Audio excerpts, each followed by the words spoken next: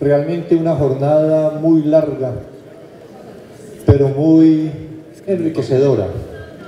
Tuve oportunidad de pasar por algunas de las mesas, hablar también con prácticamente todos los alcaldes del departamento,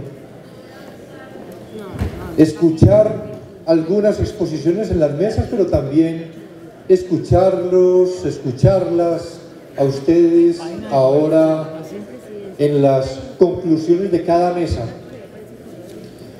No había ninguna pretensión de limitación.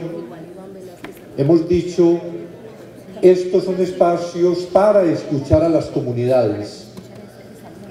Y procuramos, en todo caso, escuchar a las comunidades. Hay un espacio, el que se tuvo durante prácticamente todo el día, en el que se hicieron planteamientos, reflexiones, propuestas, que fueron recogidas también en cada una de esas mesas por quienes están con nosotros en estos procesos tan amplios de diálogos regionales vinculantes. Es decir, los planteamientos que se han hecho, propuestas que se han formulado, han quedado realmente registradas. En este espacio se pretende siempre una socialización de las propuestas y de los planteamientos para que todos los que participaron en la jornada tengan la posibilidad de conocer lo que en otras mesas también se planteó y puedan inclusive encontrar las coincidencias como varias de esas fueron expuestas ahora. Es decir,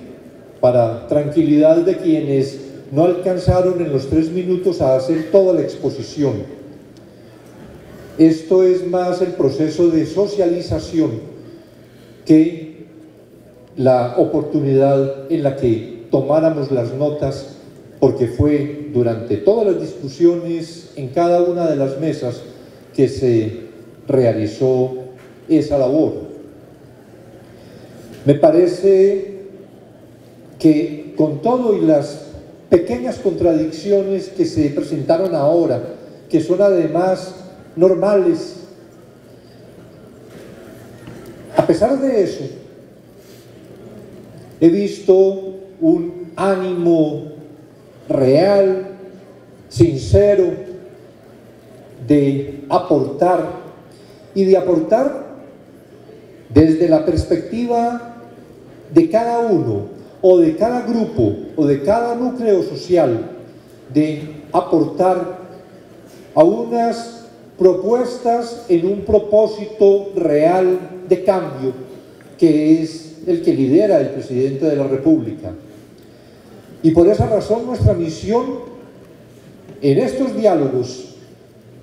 nuestra misión es escuchar, recoger, transmitir y luego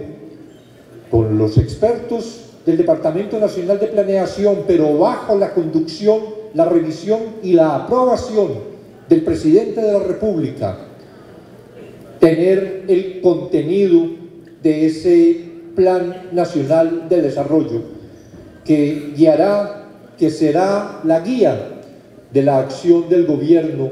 en sus cuatro años, el Plan Nacional de Desarrollo, Colombia, potencia mundial de la vida, que regirá hasta el 2026. Hay naturalmente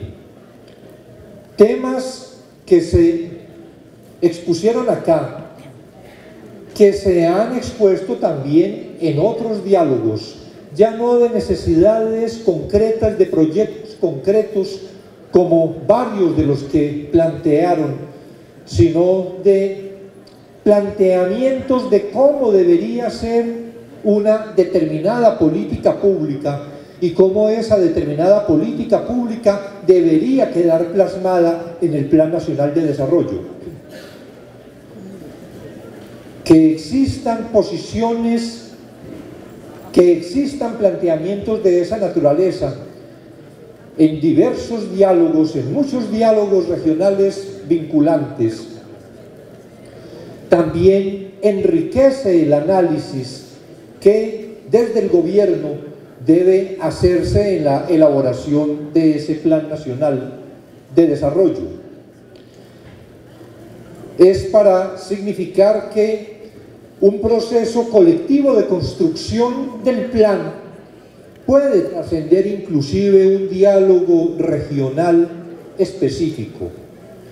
Y que podrían ver ustedes reflejada luego en el plan nacional, podrían ver ustedes reflejada una propuesta, un planteamiento o una política pública complementada por otros, por otras comunidades, por otras poblaciones, en otros diálogos, que eso también enriquece y permitirá mayor posibilidad de acertar en la formulación de ese plan. No voy a hacer por todo esto una reseña ahora de las más de 50 entre propuestas y planteamientos que alcanzaron a presentar acá como conclusiones que seguramente son muchos más que esas. Precisamente porque como afirmaba todo esto recogido ya será eh, procesado por el Departamento Nacional de, de Planeación,